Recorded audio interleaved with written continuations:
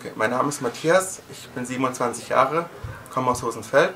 Ich wäre gerne der Wiesenbursche, da ich ein aufgeschlossener junger Mann bin, der Spaß am Feiern hat, gerne in Gesellschaft bin.